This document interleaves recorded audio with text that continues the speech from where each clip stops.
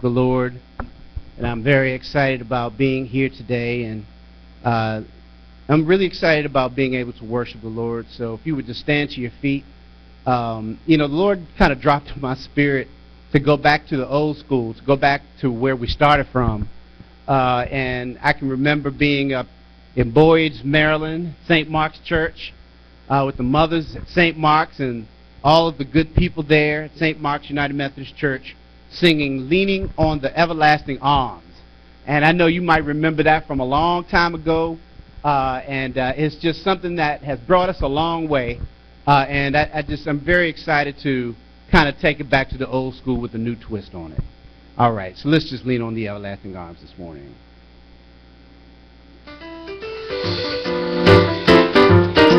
Put your, put your hands together like this, like the old school.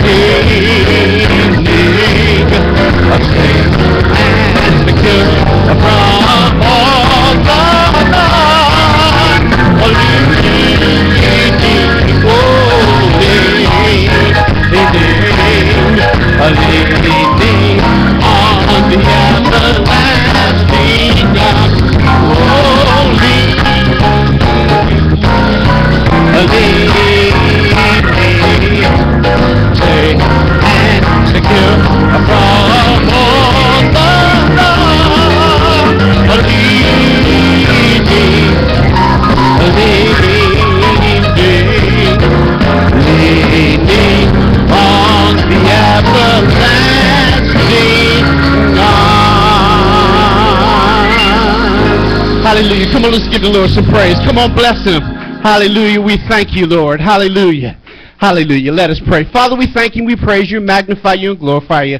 Lord, we ask you now, Lord, to have your way in this place. Lord, have your way, Lord, with all of our issues and troubles and doubts and fears. Lord, we cast our cares upon you, Lord, and we ask you now to just have your way in the service. Lord, move through every song sung, everything done. Lord God, every prayer prayed, every word spoken, Lord, yea, manifest everything Lord, that you have ordained before the foundation of the world was formed. So, Lord, we just ask you now to come into this place. We welcome you in this place. In Jesus' name we pray.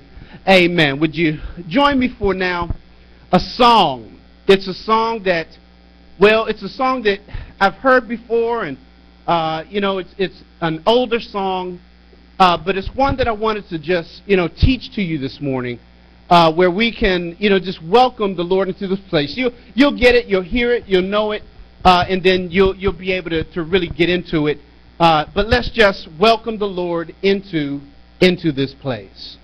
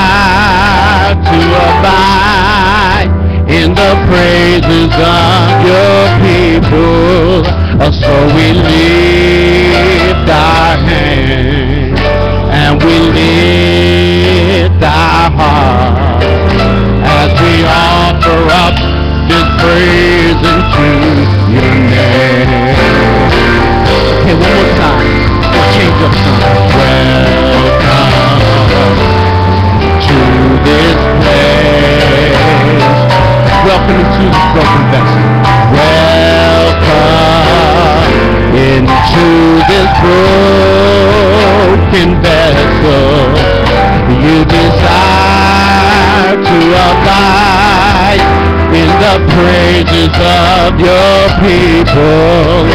So we lift our hands and we lift our hearts as we offer up this praise unto, as we offer up this praise unto, as we offer up this praise unto your name.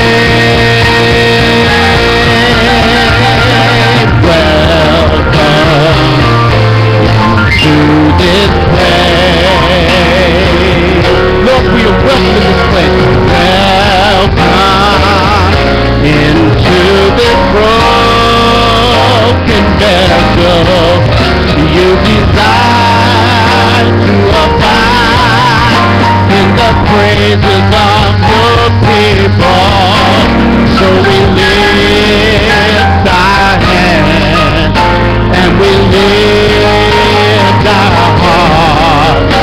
as we offer up this praise unto your name. Yeah. So we our and we our as we offer up this praise unto your name. Yeah. So we lift our hands as we lift our hearts as we offer up and this praise unto your name. Oh, as we lift our hands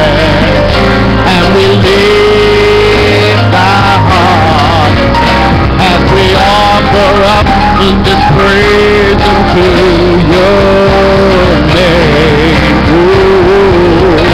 And we lift our heads as we lift our hearts as we offer up this praise unto your name.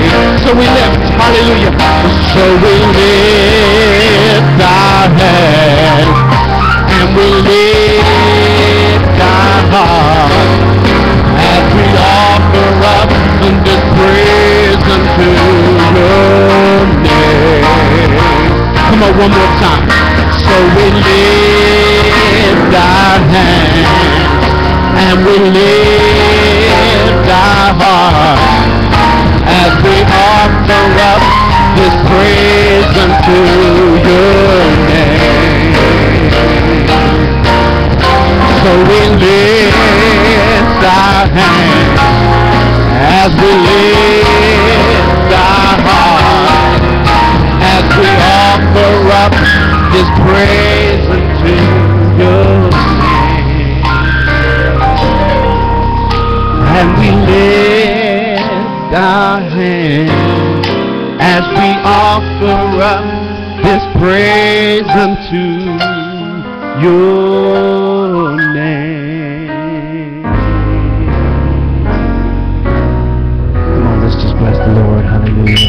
Come on, bless him. Hallelujah.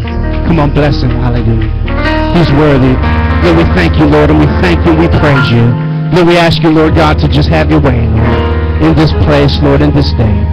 Lord, you're worthy of our praise. We magnify you, Lord. In Jesus' name we pray.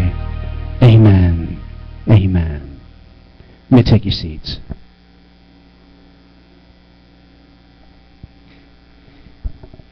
Our scripture reading is found in the Gospel of Matthew, and that is Matthew 6, beginning at the 25th verse. And it reads, Therefore I say unto you, take no thought for your life, what you shall eat, or what you shall drink, nor yet for your body, what you shall put on. Is not the life more than meat, and the body than raiment? Behold the fowls of the air, for they know they sow not, neither do they reap, neither gather into barns, yet your heavenly Father feedeth them. Are ye not much better than they? Which of you by taking thought can add one cubit unto your stature? And why take ye thought for raiment? Consider the lilies of the field, how they grow. They toil not, neither do they spin. And yet I say unto you that even Solomon in all his glory was not arrayed like one of these. Wherefore, if God so clothed the grass of the field, which today is and tomorrow is cast into the oven, shall he not much more clothe you, O ye of little faith? Therefore, take no thought, saying, What shall we eat, or what shall we drink, or when withal, wherewithal shall we be clothed? For after all these things do the Gentiles seek. For your heavenly Father knoweth that you have need of all of these things. But seek ye first the kingdom of God and his righteousness, and all these things shall be added unto you. Take therefore no thought for tomorrow, for the morrow shall take thought for the things of itself. Sufficient unto this day is the evil thereof. Let us pray. Father, in the name of Jesus, Lord, we come, Lord, on this day that you've made, and we rejoice, and we're glad that you have allowed for us all to be in it. Lord, we thank you, Lord God, for, yea, Lord, this morning's uprising, last night's down sitting. Lord, we thank you, Lord God, for breathing the breath into these bodies made out of clay. Lord, we thank you for, Lord God, food on our table, and, Lord, yea, even clothes on our back, Lord, a roof over our heads. Lord, we know that it could, could have been the other way, but Lord, somehow, Lord, you provided for us because you're able to provide for us. So for that, we give you thanks, Lord. We give you praise and honor and glory, Lord, and we turn everything over to you, Lord, and say, Lord, have your way. We know that you are able to supply all of our needs according to your riches and glory by Christ Jesus. So, Father, we will now take no more thought, Lord, of how you are going to provide for us. Lord, we bless you, Lord, and we just allow for you now, oh God, to manifest your word in our lives. Lord, we ask you now, Lord God, to travel, Lord God, from Lord from here to Japan, Lord God, and Lord God, touch the people there. Lord, you know, Lord, the devastation of homes and Lord, and devastation of life, Lord, that has taken place. Lord, you know everything. But Lord, we, we stand on your word here, Lord God, that this word is for us and this word is for them. Lord, that they can take, don't have to take thought of how they'll be provided for, Lord, because we know that according to your word, you are able to provide. So, Lord, we ask you now, Lord, to send help, Lord, to send help to every family that needs to be helped. Lord God, for those who are grieving, provide comfort, Lord. For those who are struggling, Lord, provide help in the way of, Lord God, yea, resources, Lord, people and Lord, equipment and, Lord God, whatever they need, Lord God, to, to get, Lord, them to a place of rest and comfort. Lord, whatever, Lord God, if, it, if it's a, uh, helicopters or, Lord God, trucks or ships or whatever, Lord God, yea, is needed, Lord, provide all of those needs, Lord, through all of the countries of the world and all of the people of the world. And Lord, we ask you, Lord, while you're providing for the people in Japan, Lord, if you will provide for the people in Haiti, Lord. Lord God, it's been a year and some more, Lord, and Lord, they are still struggling, still living on the streets like dogs. And we ask you now, Lord God, to provide for them a home, homes, Lord God, and, and help, Lord God, and Lord, in a way, Lord God, that they can, Lord, yeah, be brought up out of the horrible pit that they are in. Lord, and while you're in Haiti, Lord, we ask you to stop by Africa, Lord, and, and Lord God, and, and the, the devastation and poverty, Lord God, and, and all of the things that have happened, Lord, throughout the centuries in Africa. Lord, in every region, Lord, every continent, Lord, every place, every country, Lord, every city, every town, every home, Lord, we know that you're able to provide. So, Father, we're going to put our faith and our trust in you. And we're going to believe your word, Lord, that you can do all things but. All things but fail. Lord, so we put our trust in you. Now, Lord, go around this sanctuary today. Lord, touch, Lord, from the youngest to the oldest. Lord God, and provide for every one of our needs. Lord, and we thank you, and we praise you, and we magnify you, and we glorify you, and we give you full reign over all that will take place and take forth from this moment on. In Jesus' name, amen. Amen.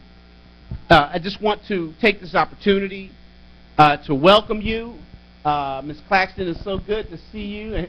Uh, it's just always a pleasure uh, and uh, and to to see uh, what God is doing in in your life and the, the beautiful family uh, that He has blessed you with, and and and all, and just how He has blessed your life. I can tell that God really favors you, that you are blessed and highly favored.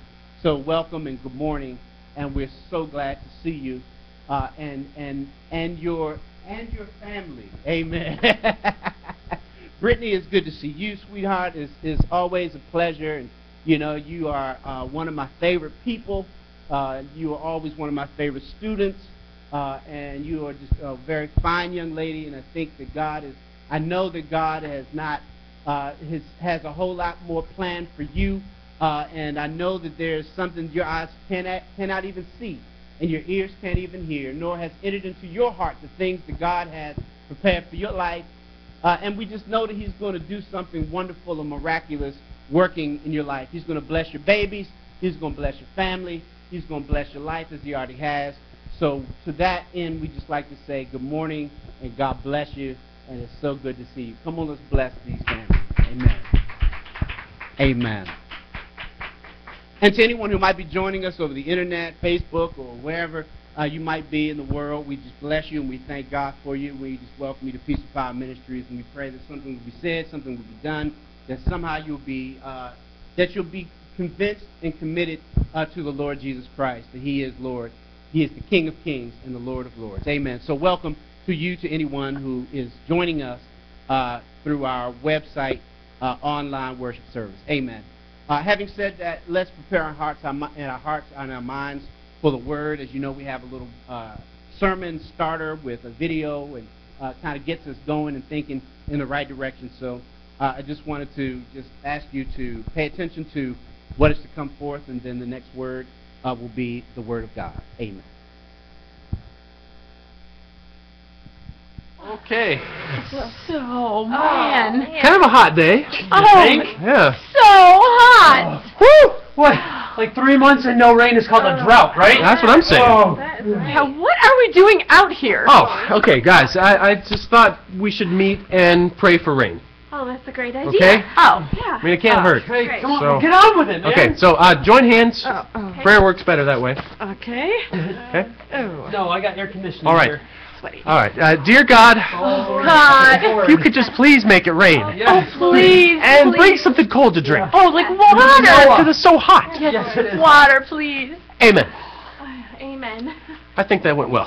Amen. Uh, whoa, whoa, whoa, whoa. I pitted out a perfectly good trip for a 10 second prayer. Thanks for coming out. I'll, I'll see you at the Bible study, Drew. I'm out of here. Okay. Uh, what are you doing? Oh, waiting for the rain. Laura, uh, take take a look up there. I want you to see that there's just a blue sky with Right. no clouds. I think that means no rain. right. Remember, we just prayed about this. So. Oh, I know. We just prayed for rain, so you know the clouds are gonna come, and then it's gonna rain, and you're gonna get wet. Are you new to this whole praying thing? Oh no, no, no, no. Well, let me explain this to you. Um, I I wouldn't be counting on the rain. oh, well, maybe it's not the rain you should be counting on. Amen. It's not the rain you should be counting on. So then the question becomes who or what should we be counting on when we pray and when we live our lives? And quite frankly, we should all know the answer to that question. And since we're in church, I'm sure you can guess that who we should be counting on is, is God. But the truth of the matter is, many of us don't really believe what we pray for. And the truth of the matter is, many of us don't really, really believe God, God's Word. We believe that God's Word is God's Word, but we don't completely believe God's Word. So today I want to ask you a very simple question, and that question is, do you have faith in God? Or rather, what type of faith do you have in God? What type of faith do you have? As you know, faith towards God is a spiritual principle that when we put it in place and when we walk into it, it will provide for us a way to become spiritually mature. When we walk by faith and not by sight, God responds. And as we walk in that journey with God, with God responding, our faith increases. And we become more mature in the things of God because God begins to show us that He really is God. And so I want to ask you what type of faith do you have? Now, faith is the substance of things hoped for, and it is the evidence of things that we cannot even see. And if we could give a definition to what faith really is, it is the absolute and complete belief and trust in God's Word and the absolute and complete trust and belief in God's ability. Like the video that we just saw, the, the people, they prayed for rain, and only one person really believed what they prayed for. She was walking as if it was already raining, or that it was about to rain, because she believed in God's abilities. So then let me ask you, do you believe in what you pray for? Do you believe that God is going to answer your prayers by faith? Or do you have that shroud of doubt hovering over the prayers that you pray? Where we pray, yes, but it can't happen right now. There's no way that we're going to see rain if we've been in the middle of a drought. There's no way we can see help if we've been helpless. There's no way that we can receive the things that we need if we have gone without. And so I just want to know whether or not you have absolute and complete belief and trust in God's Word and in His abilities, even when it doesn't seem like God is moving on your behalf. Now, let me just say, there are four or five different types of faith that we could all have. We could have no faith, which many of us have. We could have little faith, weak faith, strong faith, or great faith. And so today, my charge to you is to first determine what type of faith that you have. Even if you determine that you have no faith, at least I want you to look at your life and I want you to say to yourself and be honest with yourself and say, I have no faith. But then once you've done that, if you have no faith or a little faith or weak or whatever type of faith you have, by the end of this word, hopefully it won't last long, but, but by the end of the word today, I want you to make a promise to yourself that you're going to take your faith, whatever amount of faith you have, and you're going to take it to the next level of faith. I'm not saying go from little to great. But I'm saying if you have no faith, then let's go from little, or let's go from no to little. Or if you have little faith, let's go from little to more. So let's just define what these different levels of faith mean. And I'm just going to teach today. I just want to teach and just lay it out there. I want to lay it out there. With the different types of faith, I'm going to take them one by one scripturally so that you can see exactly what God is saying. All right. Little faith, no faith. Uh, let's turn to Mark 4. Mark 4, beginning at verse 35. Mark 4, beginning at verse 35. Matthew, Mark, Luke, John in, in the Gospels. Mark 4, beginning at verse 35. And it reads, when I get there, Mark 4, verse 35. I know it's in here somewhere. Amen. And the same day, when the evening was come, he saith unto them, Let us pass over unto the other side. And when they had sent away the multitude, they took him even as he was in the ship. And there were also with him other little ships. And there arose a great storm of wind, and the waves beat into the ship so that it was now full. And he was in the hinder part of the ship, asleep on a pillow, and they awake him and say unto him, Master, carest thou not that we perish? And he arose and rebuked the wind, and said unto the sea, Peace be still. And the wind ceased, and there was a great calm. And he said unto them, Why are you so fearful? How is it that you have no faith? And they feared exceedingly, and said unto one another, what manner of, manner of man is this, that even the wind and the sea obey him? All right. No faith. In this particular text, in verse 40, Jesus said unto them, Why are you so fearful? How is it that you have no faith? So then there is a direct correlation between living by fear and living by faith. They are diametrically opposed to one another. In other words, we cannot at the same time be walking by faith and be walking by fear. Have you ever met someone, or maybe you've met yourself, where your default reaction to everything is one of fear? Or maybe you don't even get to the default because that's where you start. You start at a place of fear and worry. And, and, and as soon as a storm in life begins to blow, the absolute first reaction is one of fear. It's where you just, you just, you live by fear. You fear that something's going to happen to you.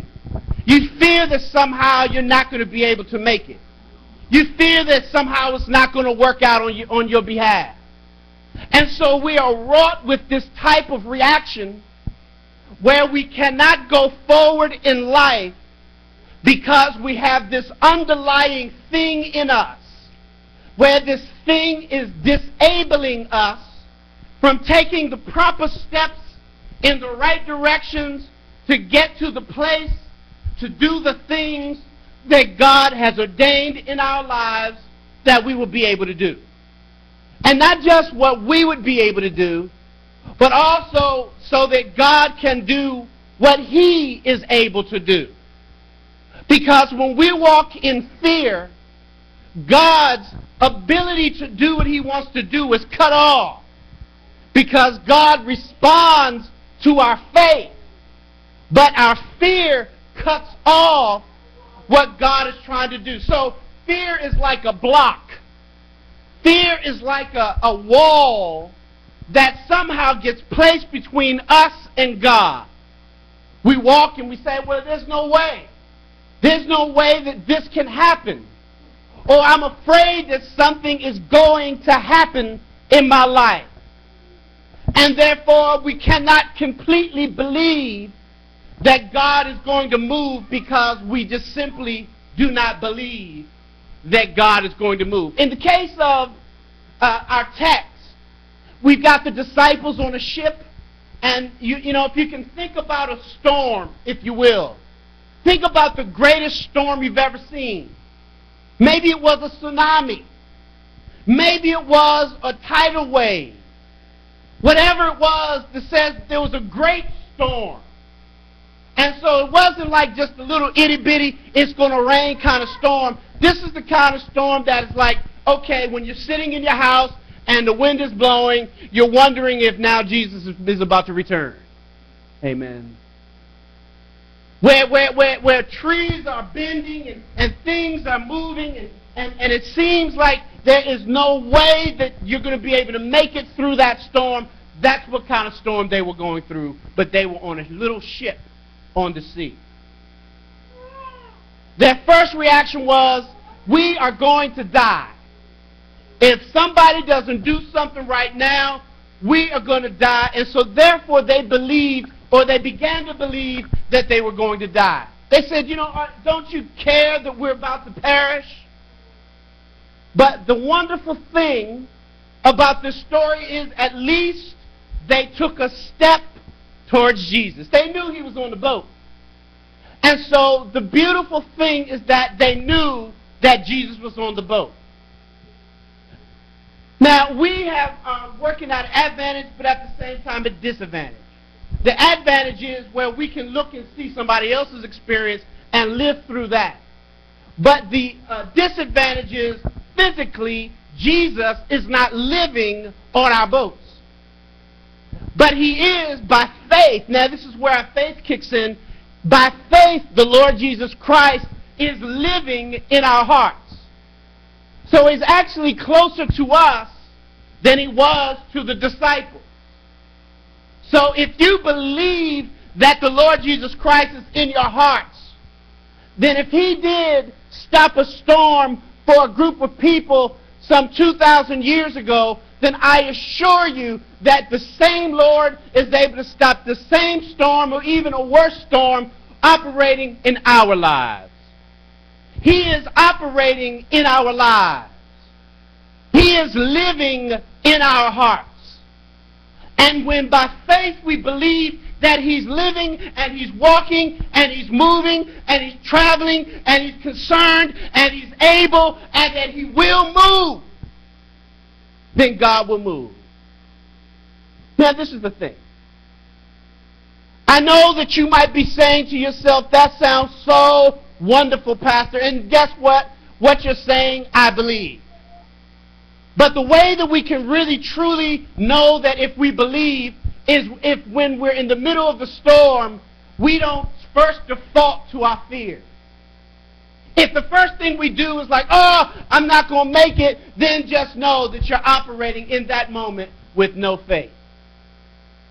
If you think that something automatically is going to happen, then you are operating in no faith in that moment. Now, maybe you have faith in other areas. Maybe you, maybe you believe in other ways.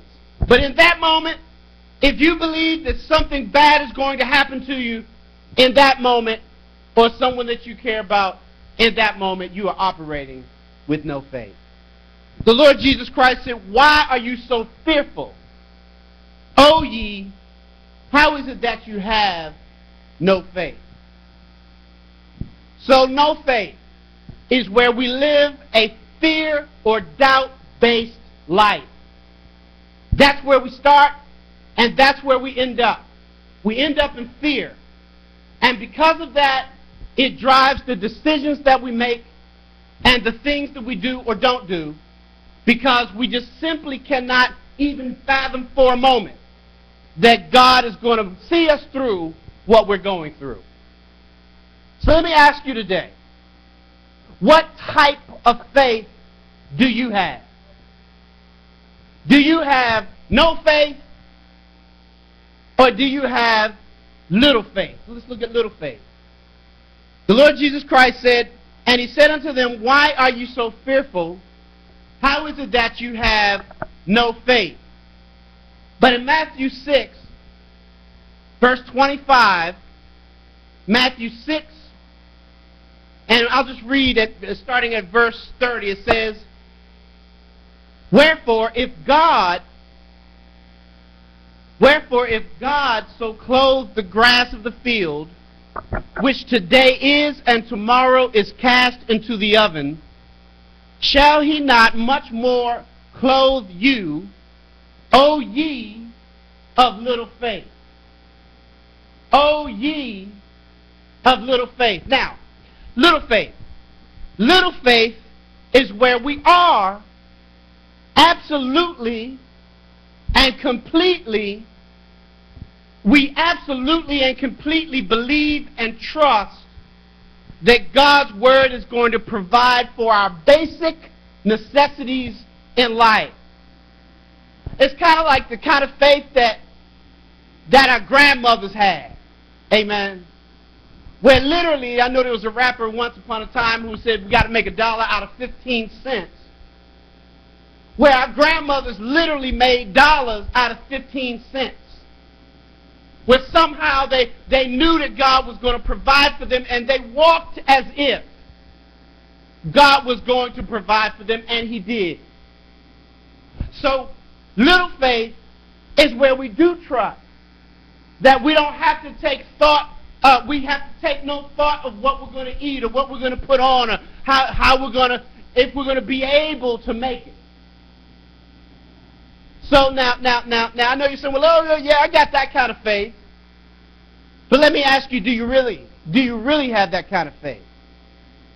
Because with the economy being what it is, and with people clamoring on the jobs that we're on, with people making the decisions that they're making which may affect us, you know, when, when, when someone, a manager or someone says, you know, well, there may have to be some cutbacks.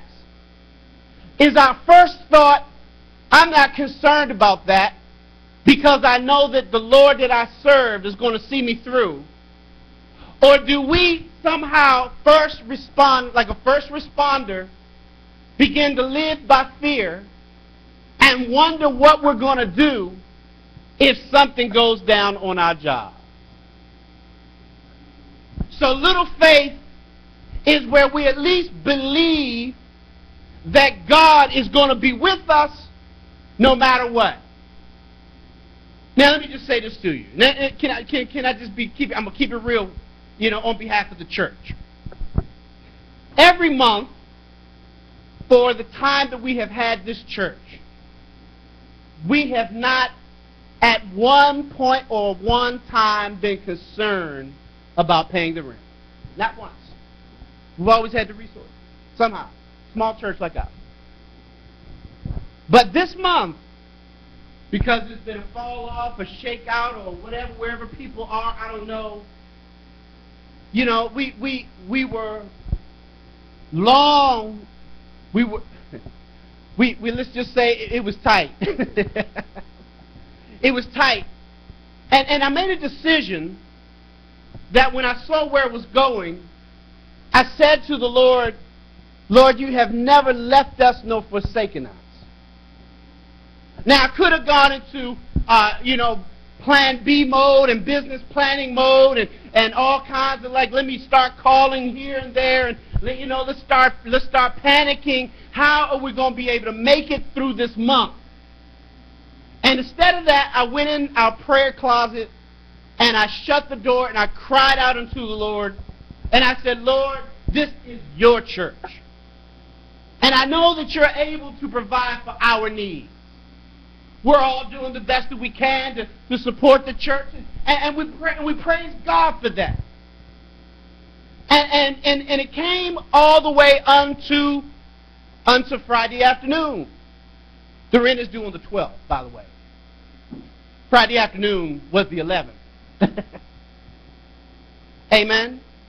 And, and so it came all the way to the final hour, and then I got word that resources had become available. So I say all of that to say to you that God's resources are available. And when we put God's word to the test, and we completely believe and trust God's word, then God's word is going to do what he said it's going to do. He said, why are you concerned about what you're going to eat? And why are you concerned about what you're going to wear? Why are you concerned about where you're going to live? Or how are you, why are you concerned about all of these things? If God takes care of the needs of a, of a bird and, and God takes care of the needs of the lilies in the field, then God is going to surely take care of all of your needs. So if we would just trust God with just a mustard seed grain of faith, just a little bit of faith in this way, and just know that in the midst of it all, in the kingdom of God, God is well able to do exceedingly abundantly above all that we can think or ask according to his power. So instead of defaulting to fear, you know, let's just let's just decide if you if you've been operating in fear, then let's just make a decision to say, you know what? It works. God's word, it works. And so we've got to walk according to God's word. And just have a little bit of faith. Now, let me show you what this little bit of faith will do. Matthew 17, verse 20. Real quick, I'll go here right quick. Matthew 17, verse 20. Matt, uh, it, it is mustard seed faith that says, Because of your unbelief, for verily I say unto you, if you have faith as a grain of mustard seed, ye shall say unto this mountain, Remove hence to yonder place, and it shall remove, and nothing, nothing, nothing, nothing, nothing, nothing, nothing shall be impossible to you. Nothing shall be impossible unto you. With just a little bit of, now, when I say a little bit of faith, I'm not talking about a, a, a, a like a measurement like from, from, you know, filling up a glass of faith. I'm talking about the type of faith. Like if, if, you, if you look at a mustard seed, it's small, but it's made of the right stuff. So our faith has to be made of the right stuff. Where when we plant it in the supernatural soil, we can believe that it is going to bear supernatural fruit. In other words, that God's word is going to work. The word of God says, with a mustard seed grain of faith, nothing shall be impossible. Nothing shall be impossible unto you. In order to get this kind of faith, it goes on in verse 21 and it says, Howbeit, this kind goeth not out but by prayer and fasting. So we've got to cultivate our faith. In order to get our faith working right, we've got to do the things that build up our faith. In other words, if you have no faith, you operate by fear, then the best way to go from no faith to little faith is to simply pray and believe that what God has spoken He's going to do. And, and, sometimes it requires us to fast. In other words, to really concentrate all of our supernatural, all of our spiritual resources towards the performance of a particular thing that God, that we need God to do according to His Word. So we really need to, in other words, focus on God to really press our way through the flesh press our way through our mess and simply just focus with all of our energy, with all of our strength, with all of our with all of our ability to just simply focus on God's word and be not denied. Have you ever wanted something so badly that you just were not going to be denied no matter what? Now, many times that kind of that, that doesn't always work to our advantage. Because you know, because you you know, well, I'll just leave all that alone. But but it, it, usually, if we really have something, now I'm talking about something according to God's will. Let me put it in that category. Have you ever wanted something that was God's will, and because it was God's will, you focused on it and you you decided that you were not going to be denied by God to get from him what it was that you needed from him. Let's say it was health. Let's say it was let's say it was strength. So by by by by by not by having that focus on God, by focusing on him, what happens is God will respond. He will respond.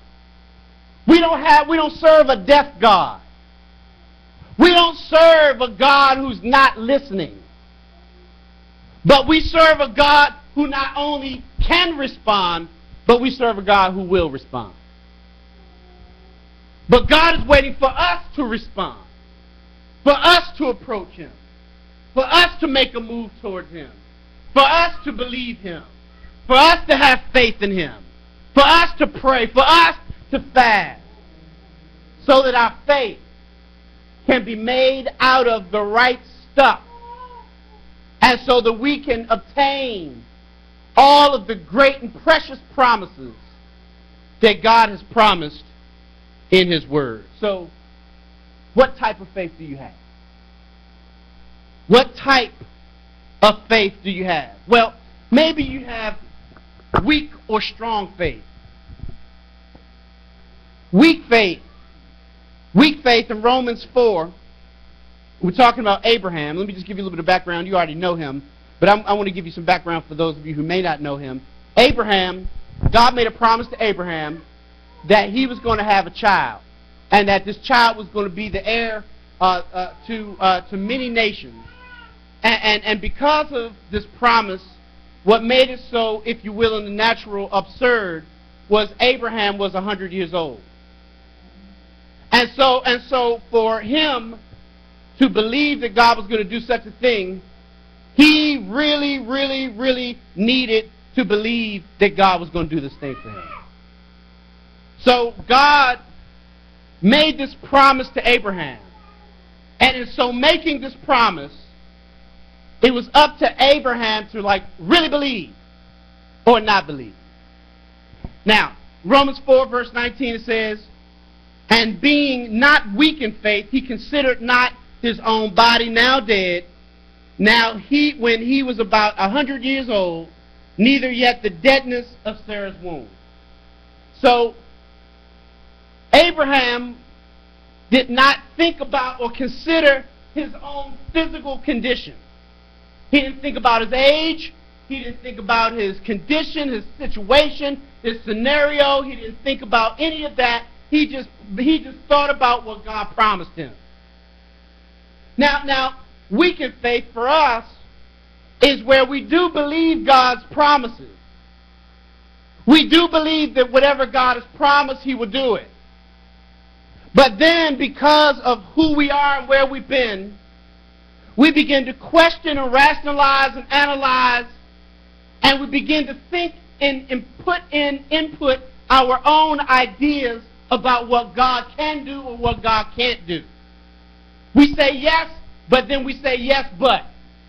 Yes, I believe God can do this, but I don't believe He can do it in my situation because I'm too old. Or because I'm because I, I'm too tired. Or because I'm not able. Or because whatever the situation is.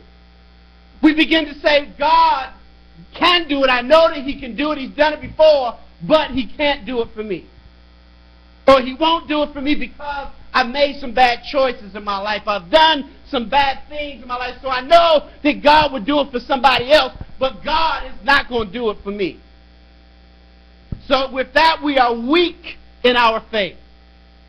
We're weak because we think too much. We try to think for God. Instead of simply just saying to, to God, I simply believe and I will continue to believe that whatever you have spoken, you are also able to perform in my life. Now that's what Abraham wasn't. He was not weak in his faith because he didn't consider. It says, and being not weak in faith, he considered not. In other words, he didn't even think about it. He didn't even worry about it. He didn't even, he didn't even like wonder about what God was going to be able to do. Instead, he just said, you know what, God said it. He said, I'm going to have a child. He said, I, I, you know, he made this promise. So I just simply have to keep believing until I see a manifestation of what God has promised in my life. What has God promised you? What has God spoken to you concerning your life? If you're not sure, I would like to invite you to the book of Genesis, and then my, my request to you would be to just keep reading. Just keep reading until God speaks to you because in God's Word there is a word concerning your life. There is a word that God has for your life concerning your destiny, your purpose, your direction, what's going to come of your life. And when God makes that promise to you, that means that that's something that He intends and that He will fulfill if you believe him. So Abraham was not weak because he did not consider, but many of us are weak in our faith because that's all we do is consider what God what, what, what we can't do, what God can't do, what God won't do, what God's not going to do. We we go into that space and start considering, well, I, I you know, I just can't do what I used to do, or you know, I, I you know, we just go into this place of just consideration. Where we become par- we, we become uh, what is it? Uh, we suffer from paralysis from our analysis. Where we just cannot see a manifestation because we're operating. We do believe God, but we don't believe God is going to do it for us. So therefore, we're weak in faith. Now, what Abraham was, was he was strong in faith. And I'll be done in a minute. I think I'm going to close on this. He was strong in faith. And he was strong in faith in verse 20 because it says he staggered not at the promise of God through unbelief, but was strong in faith giving glory to God. In other words, he was completely persuaded that whatever God spoke concerning his life, God was going to do concerning his life. And he didn't like trip on anything else. He didn't stagger at the promise. Like when God spoke it, he didn't like draw back from it. Instead, he walked towards it and said, okay, if that's what you said, Lord, then I've got to believe that that's what you're going to do. So he was not weak in faith because he didn't consider his own condition, but he was strong in faith because he was fully persuaded and did not stagger when God made the promise. If God made the promise, he believed that God was going to perform the promise concerning his life. And being fully persuaded, verse 21, and being fully persuaded that what he had promised, he was able also to perform? Do you have strong faith? Do you stagger at the promise of God? Or do you completely believe and have absolute complete belief and trust that whatever God said, that God is going to do it concerning you? What kind of faith do you have? What type of faith do you have? You know that you have strong faith listen, you know that you have strong faith if you can begin to praise God in advance of seeing a manifestation of what God has promised. It's almost like the video we saw where the young lady took out her umbrella and just was waiting for God to move because she completely believed that God was going to make it rain because of the situations that they were in? Do you put up your praise umbrella and just say, Lord, I praise you in advance, even though the situation looks completely jacked up right now? Even though the situation looks completely impossible to me? Lord, I'm going to walk with this mustard seed grain of faith that I have and believe your word that says that nothing shall be impossible to me. Lord, and I'm going to take my faith and I'm going to praise you in advance. In fact, you know that you have you know that you have strong faith when it's really hot when it's really difficult, when it's really, really, really looking impossible, and you just begin to praise God in advance because you just know. And I'm not talking about that fake kind of praise. I'm talking about that hallelujah praise that we pray when we know that God is going to do something in our lives. Abraham just gave glory to God in advance and said, Lord, I'm going to praise you and magnify you and glorify you because you made this promise. And he knew that it was not possible for God to lie. He knew that it was impossible for God to lie. And if God did not lie to Abraham, I assure you that God is not going to lie to you. The promise is sure, and it belongs to you. And so we've got to take that and say, you know what? It is the truth, the whole truth, and nothing but the truth. So help me, God. So I praise you in advance of the manifestation of the promise being performed in my life. Let me say something to you. You're worthy of the promise. I just I don't know why. I mean, I wasn't prepared. It just came in my spirit, but I just felt like I needed to just say to you that you are worthy of the promise. It doesn't matter what's stacked up or what road you traveled or, or, or, or how you tripped or slipped or whatever happened in between now and then, but or then and now. But whatever then happened then was then, but whatever is now is now, and, and we're going to apply our faith now. The Bible says now is faith. Now is faith. Not then was faith.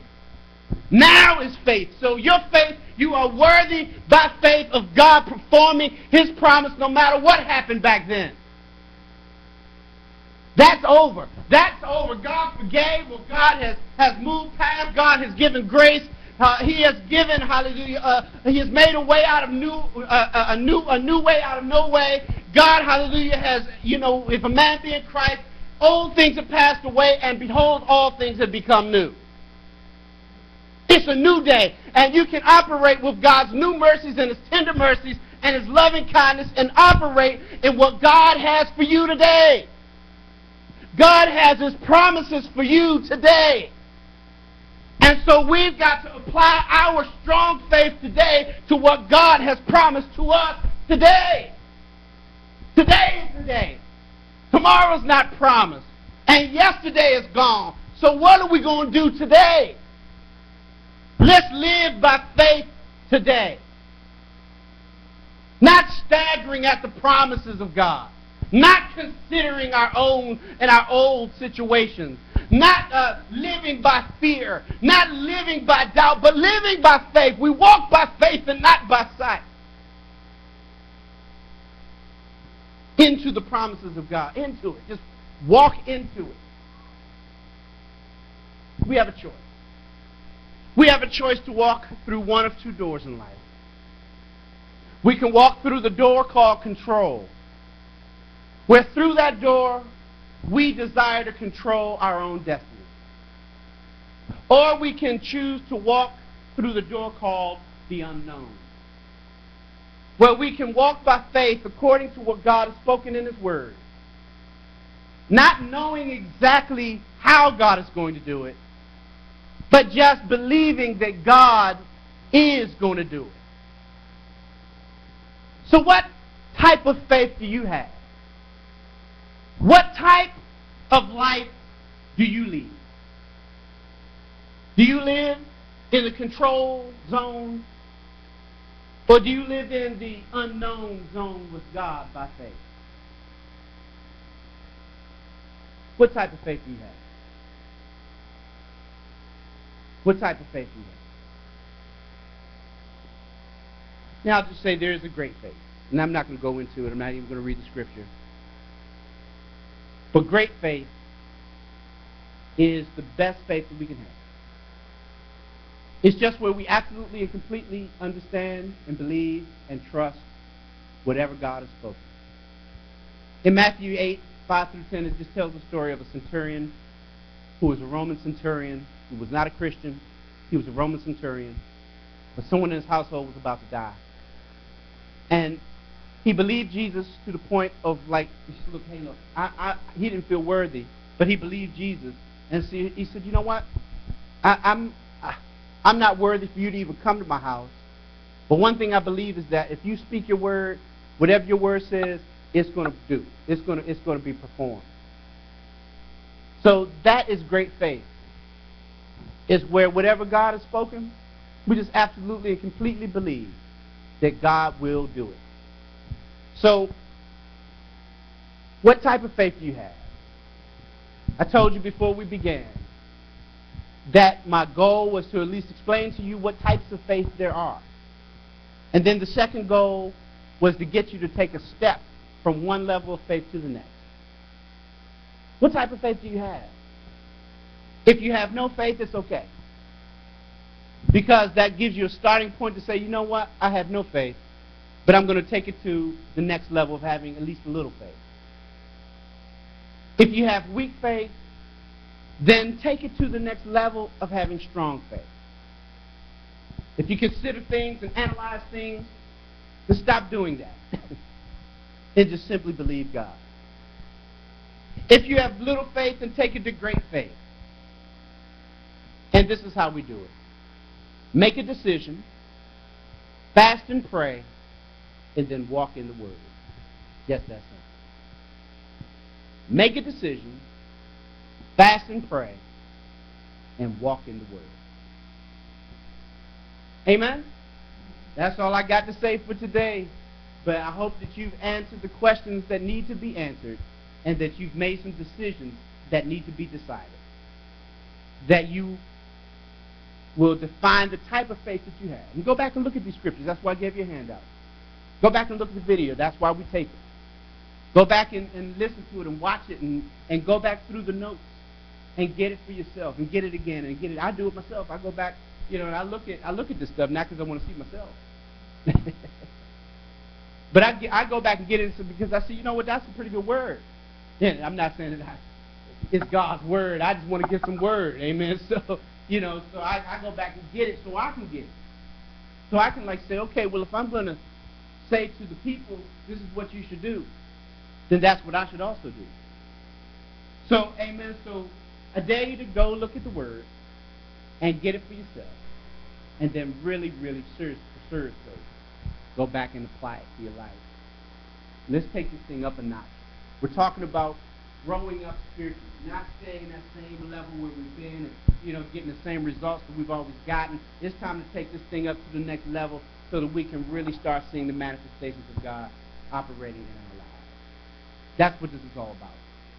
This is not about getting a, a bigger car or getting a better house. Amen. Amen. You know, you go to some churches and it, you know, oh, you know, you start talking about faith. It's like, okay, well, you know, you know, yeah, walk by faith and start a business. Amen. Oh, yeah, walk by faith and write a book. Okay. But that's not what this is about. This is about really walking with the Lord Jesus Christ. And seeing him like really, really like take interest and move in even the smallest intricate details of our lives. The things that we are concerned about, even the small things. Watching him move even in the small things. Notwithstanding the big things that he is also able to move. Amen? The big things that he's also able to move in. The impossible things. Somebody, maybe, maybe it's you telling you. Or maybe somebody else told you. Or maybe the devil is in your ear. Whispering to you how impossible the situation is. But that's not God. God's never going to say, oh, I can't do that when you're on your own, boo. Now, it might not be God's will. But whatever it is, I assure you that God is able. He can do it. Like, because he's God. He can do everything but fail. So, what type of faith is it? Let's take that and let's run with it. Let's give the Lord some praise. Amen. Amen.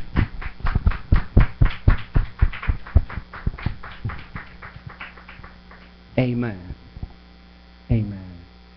I want to take this opportunity to sing an old song that that I used to really, really enjoy singing. Uh, it, it, it's one that if you really, really listen to it and you really, really apply the words to it, it, it will enable us to deepen our relationship with God. So I'm wondering if we can just stand to our feet and just sing I Surrender All. I told you I'm feeling kind of nostalgic these days.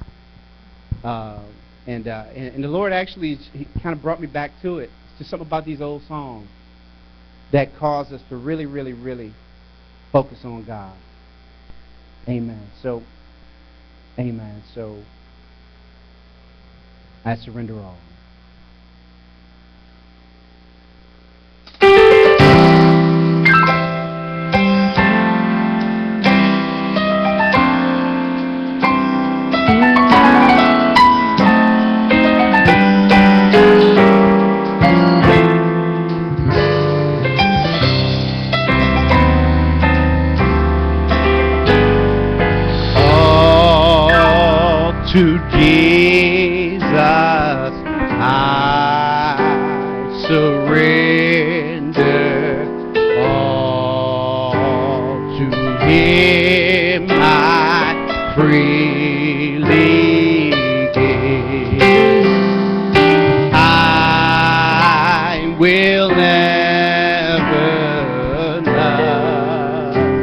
And trust Him in His presence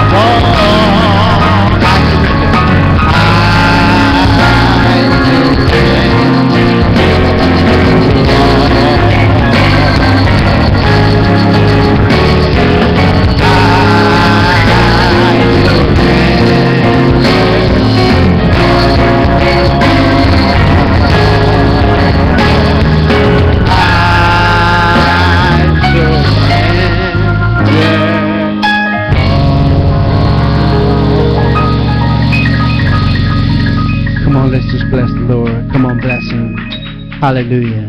Hallelujah. Hallelujah. Hallelujah. Come on, let's just pray. Father, we ask you now, Lord, to just have your way, Lord God. Lord, you know where we are in our faith. Lord, you know where we're not. So, Father, we come to you now, Lord, just surrendering our situations to you. Lord, you know, Lord God, what we stand in need of in, in the way of increasing our faith. Lord, you know the ways that we've fallen short of your glory, Lord, and the ways that we've fallen short of our faith. Lord, now give us, Lord God, a way to increase our faith. Lord God, that our faith can be more effective, that our relationship can be made deeper that, Lord, you will manifest your word in our lives. So, Father, now, Lord God, deepen our relationship with you. That you will be well pleased with our lives. Father, we come, Lord God, yea, first, repenting of our sins. Lord, turning from our wicked ways. You said, if my people who are called by my name will turn from their wicked ways and humble themselves and pray, you said, then will we hear from heaven. Then will you heal our land. So, Father, we've come, Lord, to turn away from our, our sins. And, Lord, turn our faces to Zion. And look to the hills from whence does come our help. Lord, we surrender, Lord God, our, our fears to you, Lord. Lord, knowing that you've not given us the spirit of fear, but power and love and a sound mind. Lord, some of us need a restoration of a sound mind. Lord, there's some of us, Lord, who feel like we're losing our mind. But Lord, we thank you, Lord, that you said that if we would just keep our minds stayed on you, you will, Lord God, keep us in perfect peace. Lord, you said we don't have to be anxious for anything but by prayer and supplication with thanksgiving. we can let our requests be known unto you. And your peace that surpasses all understanding will guard our hearts and our minds by Christ Jesus. Lord, restore the peace in our minds. Lord, that we won't be all messed up and, and stressed out, Lord, but yet we can just, Lord, have the peace that surpasses all understanding. Lord, you know, oh God, yea, what we stand in need of. So, Father, by faith, Lord, we turn our worries over to you, taking no thought of those things any longer. But yet, Lord God, just, Lord, just seeking ye first, Lord, seeking the kingdom of God and your righteousness. And you said all of these things will be added unto us. And yet, Father, there be someone today who's standing here, Lord, without having a relationship with you. Lord, we like to pray the prayer of salvation. I believe in my heart and confess with my mouth the Lord Jesus that he died on the cross and that he was raised from the dead. And we thank you, Lord, that when we pray that prayer, you said that we shall be saved. So, Lord, it is my prayer that someone prayed that prayer. Pray that prayer today. That, Lord God, that no one will be, Lord, left outside of that, of that, of that kingdom, Lord, that you have made available to us. That no one, oh God, will come through the gate, Lord God, and not be able to enter in. So, Father, now, Lord God, take control, Lord God, over all of our lives, Lord God, and, and Lord, yea, let your your word be a lamp unto our feet and a light unto our path. That, Lord, we can walk in your glorious light and in your power. Lord, we surrender our all. In Jesus' name. In Jesus' name. In Jesus' name we pray, amen. Amen. Mm-hmm. Oh to thee I freely give. I will never love and trust in, in His presence daily give.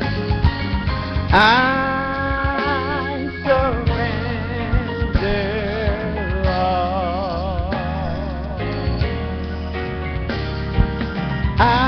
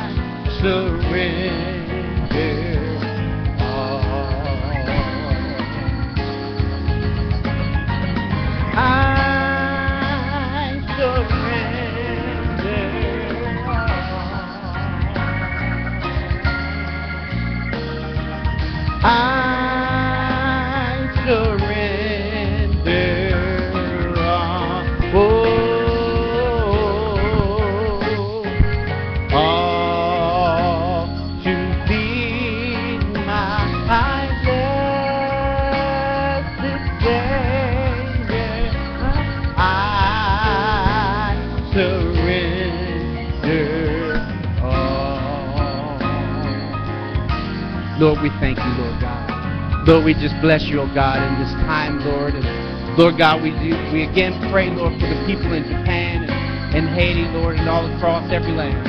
Lord, knowing, Lord God, that you're able to save. Lord, that you're able to save to the utmost, Lord. So, Father, we, Lord, like the centurion, Lord, we ask you to just speak the word and bring help, Lord God.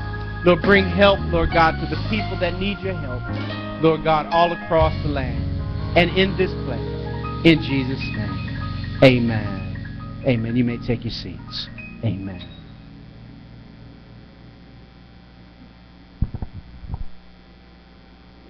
Amen.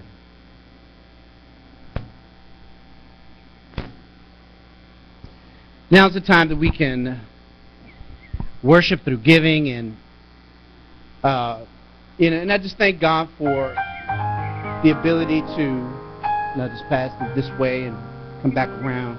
The ability to just be able to give unto the Lord. God has been very good to us. And and you know, we we sometimes take for granted you know that God is even concerned about our finances. And you know, and I can speak from experience and say that in my life my finances have been completely jacked up. But during those times my my finances were jacked up because my life was jacked up. And I wasn't putting God first. And it wasn't until I, I discovered that that I have to put God first in every area of my life, including my finances. I gave God everything. I said, Lord, here, take my mess, take my take my, my wrongful thinking, take my wrongful living, take my finances. It all belongs to me. I can assure you that when I did so, thank you, sweetheart. Thank you, precious. I can assure you that when I did that, God took my life and everything that I gave to Him, and He turned it around. Everything. Sister Shelley's and our finances, our, our, our, our lifestyle, our, our ability to live in a way that glorifies God, all came from Him. And so my appeal to you is not for money today. My appeal to you is to consider putting God first in everything. And that includes our finances. It's just when we start, see, finances is the one way that the devil can kind of hold us at bondage. Because he knows that we need money, right? We need money to pay our rent, our mortgage, our car note, our food bill, take care of our children take care of our lives, uh, keep the lights on. He knows that. And so he, if he makes it so important where we get so wrapped up into it and so worried about it, then we can't be putting God first because we're putting our worry about our finances first. So I just want to appeal to you to just consider. If you're going to consider something, consider putting God first even in your finances. Like, if you make a dollar, give God a dollar. Amen. If you make ten dollars, give God a dollar. Amen. Sister Shelley and I, just to share with you, it, it doesn't matter. Like, and this, and this is where it gets difficult, right? When when God starts blessing you, and you get a little bit here and a little bit there. And it's okay, 10%. Well, what are we supposed to do? You know, if I get a, a big check, what if I hit the lottery? Amen. Well, hopefully you don't play the lottery. But Sister Shelley got a, a bonus. Huh? We don't know. We don't. We don't. I'm, I'm just saying. I mean, you know, whatever. Well, in, in our case, what if you get a bonus on your job? What are you going to do with your bonus? Oh, well, you know, this is extra. You know, this is not, this doesn't go in the, this doesn't go in the income areas. Yeah, what are you doing? We're watching you. We're watching you. We can see you. We can see you. And so, what if what do you do in that situation? Where you get extra? Well, I tell you what what we should do. We should do what we've always done and give God whatever it is that He asks. So I can just tell you that we're excited to give unto the Lord because God has given so much unto us. Put God first, and God will see you through everything else, even our finances. Amen. Something new you can use. Amen. Let's give the Lord some praise. Amen. Amen. Amen. I just want to share with you a couple of events, uh, a couple of upcoming things. I wanted to say that that we are going to continue to fast and pray.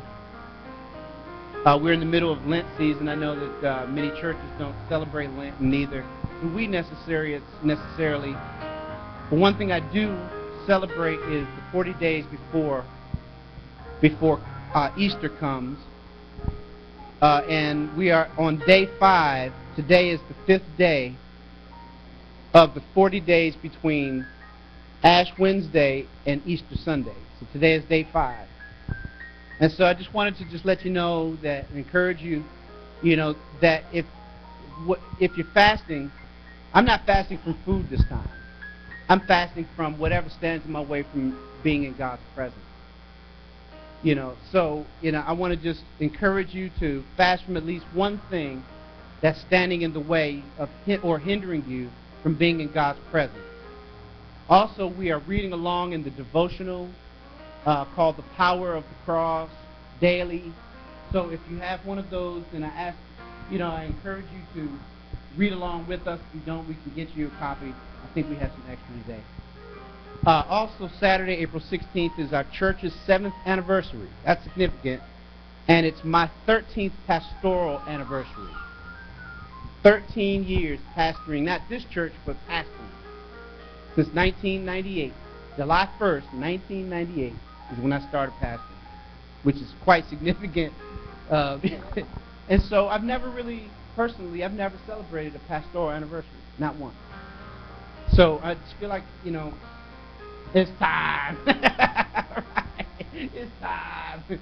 You know, it's 13th pastoral anniversary, the church's 7th anniversary. It doesn't have to be anything big. I just want to, celebrate. And we've been talking about coming together and just, you know, having a little, you know, church banquet. You know, not anything big. Just, you know, our church and family, friends. You know, not a big kabam boom. Got to go on the radio and advertise and all that kind of stuff. But just, you know, just something where we can just all share a meal and some good music and good times together. So I, I would like to do that if we could on that day. Uh, and so I wanted to just keep that before you because it's coming up on us. Uh, also, um, in the month of April, um, yeah, the month of April, I'll be teaching on baptism, and I, I would like to have a baptism service. I would like to have a baptism service somewhere uh, between, let's say, April 16th and April 24th, which is Easter. So during the Easter week, uh, it's what they call the Passion Week. I'd like to do a, a baptism service during that time. So uh, there are a lot of things coming up in April. Uh, I can tell you for sure I won't be able to pull it together myself. Um, you know, so I definitely need your help in pulling these things together. So I just wanted to, you know, drop that on you, uh, give that, you know, so that you can give that some thought and some prayer, and uh, and so that you can become involved uh, in in these uh, services and celebrations that are coming up before us. All right, so that's that's all we have. Uh, again, it's so good to see you all. Um, you know, it's always a pleasure. Uh, I can think way back to you know when you used to come up to the school and you know for parent uh, parent meetings uh, on Brittany's behalf, and uh, there was usually a good report on Brittany's behalf, uh, but usually, uh, but it was always a pleasure to see you because not many parents, grandparents are involved in the lives of their children the way that you are. So we just we thank God for you, and it's always is a pleasure to see you. Amen. So, uh, amen. So, uh, uh, Mariana, she holding up three. Does that mean I got three minutes? Is that what it means? I got three minutes left. All right. So, uh, Mariana has given us the time check. Past you. You uh, you got three minutes. So, uh, so we will bring it to a close. If there's any, is there anything else for the good order that, that we need to bring up or talk about or mention or anything, anything any, anyone has to say or wishes to say at all this day? No, no. Don't anybody talk at once? No. Okay. I, Brittany. Nah, nah, nah. Got your new job? Everything. Come on, let's bless Brittany. She got a new job and everything. Amen. We're so proud of you. Amen. So if there's nothing further, then you can stand to your feet so that we can uh, in three minutes or less, make our way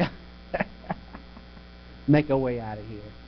Let's just pray. Father, we thank you and we praise you and we magnify you and glorify you. We, we love you and adore you. We thank you for all that has gone forth in this day. Lord, we ask you to bless the offering, Lord. Bless every hand that gave, every heart that had a desire to give, Lord. And we just ask you now, Lord, to just, Lord, yeah, to just bring order to our lives and in every area, including our finances. Lord, we lift it up to you, Lord, and lift, oh God, this church up to you and all that concerns us. We know that you will perfect us, Lord, and that you will Lord, provide for all of our needs. So we bless you and we praise you and thank you and glorify you and love you and adore you and worship you in spirit and in truth. And we ask you, Lord God, as we prepare to leave from this place, if you will keep us in communion, Lord, with your sweet Holy Spirit, that he will rest, rule, and abide and will be with us now, henceforth, and forevermore. In Jesus' name we pray. Let the church say amen, amen, and amen. Why don't you hug your neighbor? Amen.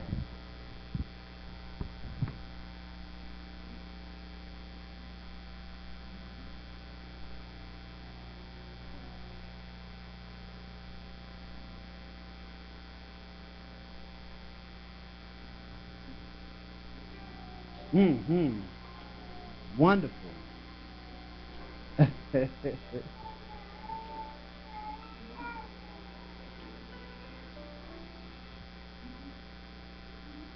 Such a well behaved and sat and you know, gave us a time check and everything. he was like, Yep, I was ready to go.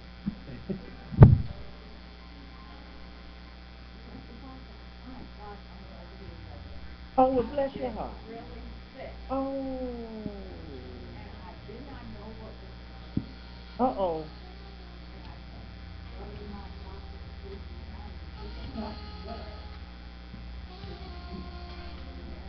What did you say?